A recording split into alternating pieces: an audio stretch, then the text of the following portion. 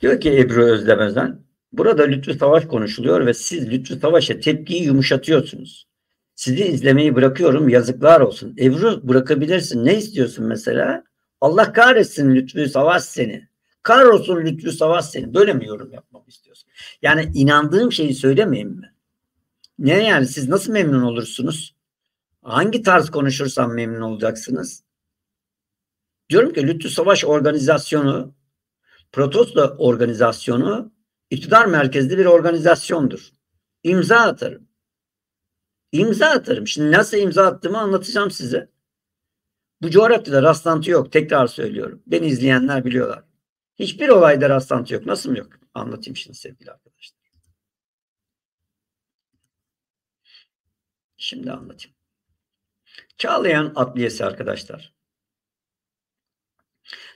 Çağlayan Adliyesi'ndeki saldırıyı DHKPC yaptı. DHKPC militanları, DHKPC eylemcileri, DHKPC teröristleri nasıl derseniz deyin. Nasıl tanımlarsanız tanımlayın. Ama dün dedim ki Çağlayan Adliyesi eylemi bir psikolojik harptir. Özel bir organizasyondur. Bizzat devletin derinliklerinde hazırlanmış bir terör saldırısıdır. Neden mi diye anlatmıştım. Düşünün. Bu saldırıyı yapanlardan biri bir yıl önce bir yıl önce bir minibüs örgüt üyesi ne ait bir e, minibüs içerisinde iki kişiyle yakalanıyorlar. Bombalar var. Tamam mı? Patlayıcı maddeler var. Ama serbest bırakılıyorlar. Bunu bir kenara yazın. Şimdi devam edeceğim. Neden bu işin bir organizasyon olduğunu anlatacağım. Ve Lütfü Savaş olayını da Hatay meselesinde bunun üzerinden okursanız sevinirim. Tepkilerini azaltmak istemeyenler azaltmayabilirler. Çağlayan Adliyesi üzerinden e, kahrolsun terör diyerek nereye doğru yöneldiklerine de bakmalarını isterim. Kime kahrolsun derken aslında neler yapıyorlar? O psikolojik harpin bir parçası haline nasıl dönüşülüyor onu anlatacağım.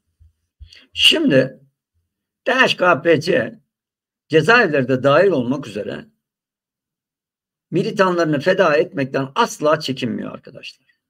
Açlık grevine gönderiyor ve açlık grevinde öldürüyor resmen. Bunu açlık grevi eylemlerini, ölüm orucu eylemlerinde en şanlı direnişler olarak duyuruyor. En size bir tane örnek anlatmak istiyorum. E, tahmin ediyorum e, 2000'li yıllar Küçük Armutlu'da o zaman DEVSOL, DHKPC değil. E, açlık grevleri yapılıyor. Ölüm oruçları. Oraya gittik. E, gittik. Ziyaret ettik. Bizzat e, ölüm orucunu yöneten bir isim var. E, yaklaşık cezaevinde 20 yıl kadar kalmış. Bulunduğu odaya geçtik. İşte herkesin başında kırmızı. Oturduk şeyi anlattım. Ölüm orucunun ne kadar gereksizliği ve anlamsızlığı üzerine. Bir taraftan da yanındaki arkadaşlar da dürtü yapma Ali burada kavga çıkacak. İnsanlar ölüm orucuna girmiş sen gitmeye gelmişsin ölüm orucunun gereksizliğini anlatıyorsun dedi. Ben dedim ki ben inandığımı anlatırım arkadaşlar. Nerede olursa olsun söylerim yani. Bedeli ne olursa olsun. Neyse konuştuk konuştuk tartıştık da sevgili Gerçek TV izleyicileri ben oradan ayrıldıktan bir hafta sonra o Armutlu'daki, Küçük Armutlu'daki ölüm orucunu ölüm orucunu yöneten isim pencereden kaçtı arkadaşlar. Kaçtı kaçtı. O evde iki kız kardeş ölüm orucuna yatırıldı. İki kız kardeş peş peşe öldürüldü. Ben öldürüldü diyorum ona. Ve DHKPC bu Çağlayan Adliyesi'ne gönderdiği iki kişiyi, iki militanını ölüme gönderdi. Bunlar aslında içeriye adliye girmek istiyorlar. Geçmişteki savcı Kiraz'ın katledildiği gibi bir eylem şeyi. Kapıda e, GBT kimliklerine bakılıyor ama ben Çağlayan Adliyesi'nde bugüne kadar kimlik kontrolü yapıldığını bilmiyorum. Çok açık net söylüyorum. Kimlik kontrolü yapıldığını bilmiyorum. Ve e, girmek istedikleri kapıdan kaçmaya başlıyorlar. Sonra işte o gördüğünüz polis kontrol noktasında önce erkek sonra da kadın e, militan terörist öldürüldü. Seçilen örgüt üyelerinin ilginç profilleri var. Bakın şimdi seçim döneminde bu profillerin bu iki tane seçilen ismin rastlantı olduğunu da düşünebilirsiniz. Ama şimdi size rastlantı olmadığını verilerle anlatacağım. Emrah Yayla, Pınar Birkoç. Emrah Yayla demin demiştim bir yıl önce gözaltına alınıyor bombalı, bombalarla patlayıcı maddelerle beraber. Şimdi milletvekili Ömer Faruk Gergerlioğlu biliyorsunuz bir aktivist. Bence Türkiye Büyük Millet Meclisi'nin insan hakları konusundaki en önemli aktivisti. İnsan hakları ihlalleriyle ilgili olarak gündeme getirdiği konulara bakarken kişinin hangi siyasal örgütün, hangi inancın, hangi meşrebin adamı olduğuna falan bakmıyor. Kimliğine, işlediği cezaya, ya işlediği suça, örgütüne falan bakmadan bir hak ihlali, bir antidemokratik bir uygulama varsa onu gündeme getiriyor. Bakın Ömer Faruk Gergerlioğlu ve Sezgin Tanrıkulu. Sezgin Tanrıkulu zaten CHP'nin öcüsü belirli kesimler için. O öcü. Bu iki isim bakın o kadar bilerek seçilmiş iki isim ki bu. Çünkü bu iki isim bu örgüt üyelerinin yani Emrah Yayla ve Pınar Birkoç'la ilgili yaşadığı hak mahrumiyeti dolayısıyla yaptıkları konuşmalar var. Ve bu konuşmalar hemen Çağlayan Adliyesi'ndeki terör eyleminin ardından cımbızlanarak servis edildi. Ve bu milletvekilleri sosyal medyada linç edilmeye başlandı. Ardından Anayasa Mahkemesi'nin Emrah Yayla hakkında verdiği hak mahrumiyeti kararı ön plana çıkarıldı. Ve son günlerde Anayasa Mahkemesi ile ilgili olarak Can Atalay üzerinden ve başka konular üzerinden ve Devlet Bahçeli'nin hedefe koyması üzerinden Anayasa Mahkemesi'nin kapatılmasına kadar Anayasa Mahkeme üyelerinin tutuklanmasına kadar da lütfen bir kenara koyun lütfen anlattıklarımı. Ve Emrah Yayla hakkında verdiği hak mahrum, mah, mahrumiyeti kararı sonucu tahliye edilmesi Emrah Yayla'nın ve Anayasa Mahkemesi'nin kararlarına uyulmaması, yıpratılması yeniden dizaynı gündemde. Anayasa Mahkemesi'nin kararları tartışmalı algısı oluşturulabilmesi için Emrah Yayla biçilmiş bir kaftan. Yani bu saldırıda kullanılmış olmuş olması özel olarak seçildiğini gösteriyor. Şimdi kısacası mevcut anayasa tartışmaları üzerinden ve AYM üzerinden yapılan tartışmalara ve Ömer Gergerlioğlu ve Sezgin Tanrıkulu üzerinden yapılan tartışmalarla Emrah Yayla ve Pınar Birkoç'u örtüştürün. Devam ediyorum. Cumhuriyet Gazetesi ve Bir Gün Gazetesi şu anda bence muhalif medya açısından Bir Gün Gazetesi çok iyi gazetecilik yapıyor. Timur Soykan gibi isimler de dahil olmak üzere. E, Cumhuriyet Gazetesi ve Bir Gün Gazetesi hedefe şak diye konuluyor abi. Niye? Bunlarla ilgili geçmişte haberler yapılmış çünkü. Şimdi Devam ediyorum. Devam ediyorum. Nasıl bir operasyon yapıldığına yönelik olarak Sabah gazetesi bu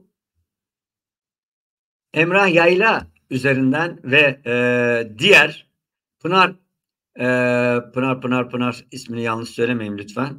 Şöyle geleyim.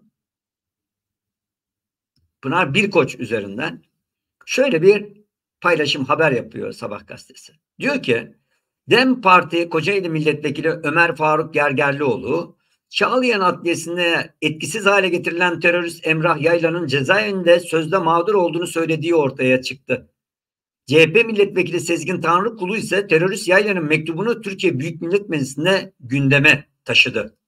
Ve konuşmalar ortaya çıktı diye devam ediliyor. Ve yine Sabah gazetesi Çağlayan Adliyesi'nin C kapısı önünde polis noktasına silahlı saldırı düzenleyen DHKPC terör örgütü üyesi olan Emrah Yayla hakkında Anayasa Mahkemesi'nin hak ihlali kararı verdiği ortaya çıktı deniliyor. Anayasa Mahkemesi DHKPC'li terörist için e, hak ihlali kararı vermiş. Oo, yine devam ediyorlar arkadaşlar. Sabahın edindiği bilgiye göre Çağlayan Adliyesi saldırganlarından DHKP Celil terörist Pınar Birkoç'un ablası Necmiye Birkoç'un bugün İstanbul 13. Ağır Ceza Mahkemesi'nde yargılandığı bilgisine ulaşıldı. Hainlerin asıl hedefinin 13. Ağır Ceza Mahkemesi'nin heyeti olduğu anlaşıldı. Çağlayan Adliyesi'nin saldırganlarının kimliklerinin ortaya çıkmasının ardından Cumhuriyet Gazetesi apar topar Pınar Birkoç ile yapılan haberleri kaldırdı teröristlere kucak açan CHP yandaşı bir gün ve Cumhuriyet Basın İlan Kurumu'ndan resmi ilan almaları dikkat çekiyor diye de resmi ilan haklarının kesilmesine yönelik olarak çağrı yapıldı. Böyle mi bitti sadece? Şimdi böyle deyince bitmiş mi oluyor? Devam ediyorum arkadaşlar. Şimdi yerel seçimlerde CHP, DEM ve TİP partilerine oy verecek seçmenin yani muhalif partilerine oy verecek seçmenin caydırılmasına yönelik olarak psikolojik bir harp yapılıyor.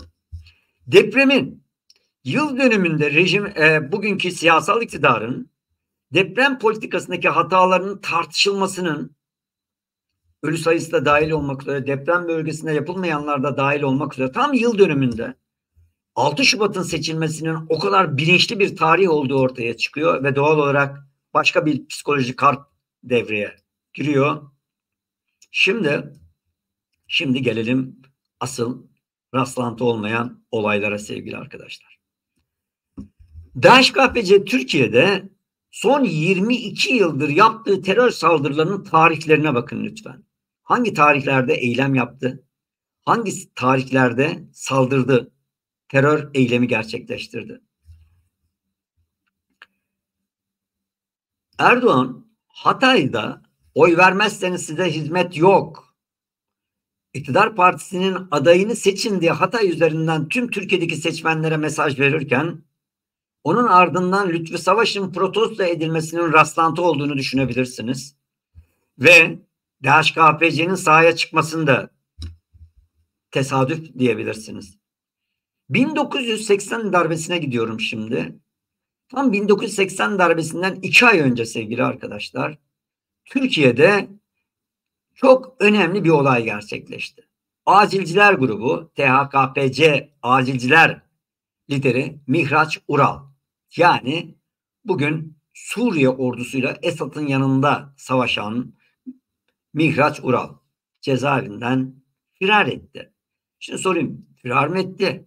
Firar mı ettirildi? Bu soruyu kendiniz Sonra yine yine aynı tarihlerde Miraç, Miraç Ural Suriye'ye giderken cezaevinden kaçarken ya da kaçırılırken 12 Eylül darbesinden iki ay önce Abdullah Öcalan da Türkiye'den çıktı ve Suriye'ye gitti. Şimdi devam ediyoruz yine. DHKPC içerisinde 80'li yıllarda bir ayrışma süreci yaşandı. Bedriyan, Bedriyan o dönemdeki Devsol'un, HKPC demeyeyim, Devsol dönemdeki iki liderinden biriydi. Bedri Yağan ve Dursun Karataş grubu diye. Bedri Yağan sevgili izleyiciler, Dursun Karataş'ın MIT ve Özel Harp'le Özel Harp dairesiyle irtibatlı olduğunu söyleyen iddialarda gündeme getirmişti. Ve Bedri Yağan operasyonlarla özel yerleri bildir illegalde olduğu halde yerleri bildirilerek öldürüldü arkadaşlarıyla beraber arkadaşlar. O tarihte Dursun Karataş ve arkadaşları sonradan cezaevinden kaçırıldılar ve yurt dışına gittiler. Devsolu yurt dışından Dursun Karataş idare etmeye başladı. Şimdi yine o Dursun Karataş'ın o Dursun Karataş'ın ilginç bir şekilde e, Abdullah Çatlı ile iyi dost oldukları iddiası da hep kamuoyunun gündemini işgal etti. Diyor ki Çatlı yakalandığında Fransa'ya DHKPC acizciler olarak iltica ettim diye açıklaması vardı. Ve referans olanlar kimdi diye sormanız gerekiyor. Mihraç Ural ve Kemal Bayram ilginç bir şekilde. Onu da bir kenara yazın. Şimdi bir tarafa Veli Küçüğü koyun. Dilovası Kooperatifini koyun. Örgüt üyesi Emin Alkılıç Veli Küçük'ten aldığı silahları örgüte dağıtmasını 1980 öncesi koyun. Bu aynı silah seri numaralarının ülkücülere dağıtıldığını bir taraftan aklınızın bir kenarına yazın lütfen. Şimdi şimdi devrimci sol içerisindeki önemli isimlerden biri Paşa Güven'di. Bunu da Paşa Güven ismini ve Abdullah Çatlı ismini de bir kenara yazın. Tekrar yazın sevgili arkadaşlar. Paşa Güven ve Abdullah Çatlı aslında her iki isimde Özel Harp Dairesi'nin elemanları. Ülkücülerin ellerindeki silahlarla Devsol'un elindekilerinin seri numaralarının birbirini takip et, etmesi neyi gösteriyordu? Silahlar aynı kaynaktan geliyordu sevgili arkadaşlar. Bir gün Özel Harp Dairesi'nde randevular karışıyor. Paşa Güven ile Çatlı karşılaşacak diye herkes büyük bir telaşa kapılıyor arkadaşlar. Şimdi daha kritik bir yere gideceğim. Sabancı cinayetini hatırlayın lütfen. Şöyle bir gidin. DHKPC'li Fehriye Erdal Sabancı Center'da işe başlıyor. Susurluk kazasında ölen polis müdürü Hüseyin Koca da Sabancı Center'a işe girmesinde Fehriye Erdal'a referans oluyor. Sonra Susurluk kazasında biliyorsun Susurluk kazasından sonra e, Mustafa Duyar yakalanıyor ve Veli Küçük'ün Nuri Ergin'e bu e, öldürtme emrini, talimatını verdiği iddiaları kamuoyuna yansımıştı. Nuri Ergün cezaevinde bir isyan çıkartıyor ve Veli Küçük'e akıllı ol diye mesaj gönderiyor. Şimdi şimdi devam edeceğim. Sevgili arkadaşlar. DHKPC DHKPC bu dönemde bu eylemi yapmasını kendi açısında bir kendine göre tutarlılıkları vardır. Ama bu her iki kişiyi de ellerindeki 7.65 tabancayla 7.65 tabancayla intihar saldırısına gönderiyor arkadaşlar. Daha ileri gitmek istiyorum. Taksici cinayetini lütfen bir kenara koyun. İtalyan kilisesine yapılan saldırıyı bir kenara koyun. Türkiye'nin dört bir yanında yapılan 1600 noktaya yapılmış işit operasyonlarını bir kenara koyun. 15 Haziran'daki Haziran'la Kasım seçimleri arasında gelişen terör olaylarını bir kenara koyun. Ve şimdi çok sağduyulu bir şekilde Çağlayan Adliyesi'ne yapılmış saldırıyı sıradan kendi kendine gelişmiş operasyonel olmadığını düşünebilirsiniz. Şimdi size bir haber paylaşacağım. Bakalım bakalım bakalım bu o Çağlayan Adliyesi'ndeki saldırının terör saldırısının ardından Cumhurbaşkanı Erdoğan muhalefetle ilgili ne söylüyor arkadaşlar? Şanlıurfa, Şanlıurfa'da aday tanıtım toplantısında Cumhurbaşkanı Erdoğan bu saldırıyı yapan teröristlerin en büyük siyasi hamisi CHP'dir. Özgür Efendi bu örgütün siyasi örgütün elebaşına genel başkan seçildiği kongre kürsüsünden bizzat selam gönderdi diyor. Kim mesela bu örgüt Dursun Karataş'a mı selam gönderdi diye bakmak gerekiyor. Şimdi diyor ki devam ediyor. Devam ediyor. CHP ülkenin ve milletin düşmanı kim varsa onların ekmeğine yağ sürmekten, 5. kol operasyonuna destek olmaktan geri durmazlar. Bu parti ülkemizi yönelik kaos operasyonu olan gezi olaylarına sahip çıktı. FETÖ'nün montaj kasetlerini meclis gündemine taşıyarak darbeye ortak oldu ki bu montaj kasetlerinin montaj olmadığı bilirkişi raporlarıyla ortaya çıktı biliyorsun. PKK terör örgütü mensuplarını yurtsever diye sahiplendi. 15 Temmuz'da tankları alkışladı. Yapılmaması gereken ne varsa hepsini yaptı, yapıyor. CHP siyasi miyengini kaybetmiş, yörüngeden savrulan bir partiye dönüşmüştür. Türkiye üzerinde hesabı olan herkesin kullanabileceği bir aparat haline gelen CHP'nin durumu İstanbul'daki son terör saldırısıyla ortaya çıkmıştır. Bu saldırıyı yapanların en büyük hamisi genel başkan olmak üzere CHP yöneticileridir. Özgür Efendi genel başkan seçildiği kongre kürsüsünden selam gönderdi. CHP yöneticilerinden bazıları eylemi yapan teröristleri savunmak için meclise verdikleri sonu önergeleri bile var. CHP güdümündeki medya kuruluşlarının terör örgütlerinin bültenine dönen işler hacısı halini saymıyorum bile. Bu parti uzunca bir süredir PKK'nın siyasi uzantılarıyla yoldaşlık yapıyor. İktidara gelebileceklerini zannediyorlar. Halbuki terör örgütleri ve iç ve dış uzantıları CHP'yi koçbaşı olarak kullanmaktadır. Siyasette rotasını kaybeden CHP Türkiye'ye dair hesabı olan tüm odakların oyuncağı olmuştur. asıl suç siyasi kariyerleri uğruna kendini kullandıran CHP yönetimidir. Sevgili izleyiciler. Siz varın Hatay'daki Lütfü Savaş protesto gösterisini rastlantı saymayın. Eleştiri dozlarını da çok aşağı kullanıyorsun diyerek seni izlemekten vazgeçiyorum deyin. Çağlayan Adliyesi'ne yapılan saldırıyı DHKP intihar saldırısını terör eylemini de bir rastlantı olarak değerlendirin. Ne diyeyim ki? Ne söyleyebilirim ki? Bu kadar. Bir şey diyemem. Söyleyeceklerim bunlar. Şimdi siz ne dediniz bunlarla ilgili ne mi demişse Uğur Sekmen teşekkürler. Hümeyra'ya her zaman olduğu gibi nezaketin için teşekkür ediyorum desteğe. İyi ki varsın. Bakalım sizden neler gelmiş bakalım. Fahrettin Koca'yı da protesto ettiler diyorsunuz. Tabii ki. Tabii ki Fahrettin Koca'nın orada olması olmasaydı olmayacağını mı zannediyorsunuz? Zaten Fahrettin Koca protesto edilmeden olabilir miydi? Sadece Lütfü Savaş yapılsaydı eksik olmaz mıydı? Ya da Fahrettin Koca'ya sadece protesto edilip Lütfü Savaş edilmeseydi olur muydu? Amaç Fahrettin Koca'nın protesto edilmesi miydi? Öyle mi zannediyorsunuz? Öyle mi düşünüyorsunuz? Öyle düşünmeye devam edebilirsiniz.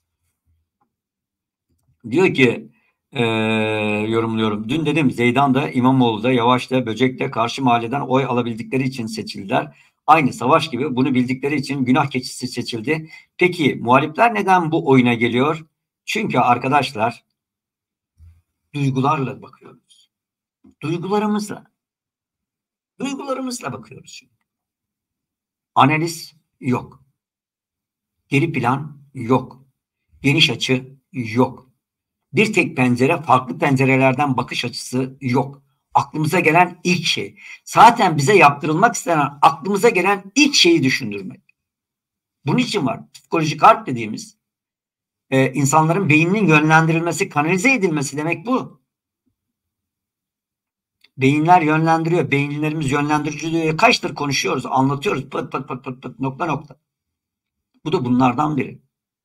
Tesadüf olmadığını söyleyeyim arkadaşlar. Gülşah yazmış. Çok harikasın. Seçime giderken rastlantıya rastlanılmaz. Şu cümleyi buraya bir kenara yazayım. Harikasınız. Kasım çok sağ ol. Devam edelim.